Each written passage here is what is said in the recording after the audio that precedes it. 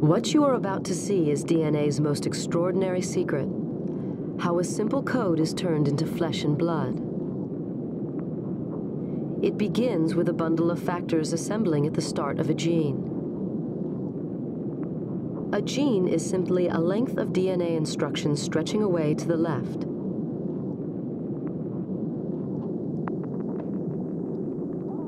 The assembled factors trigger the first phase of the process, reading off the information that will be needed to make the protein.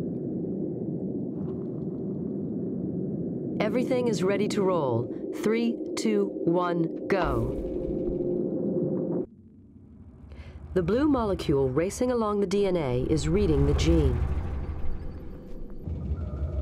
It's unzipping the double helix and copying one of the two strands.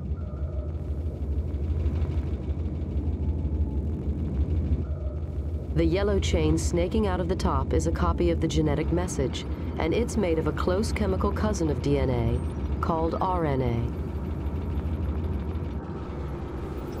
The building blocks to make the RNA enter through an intake hole. They are matched to the DNA, letter by letter, to copy the A's, C's, T's, and G's of the gene. The only difference is that in the RNA copy, the letter T is replaced with a closely related building block known as U.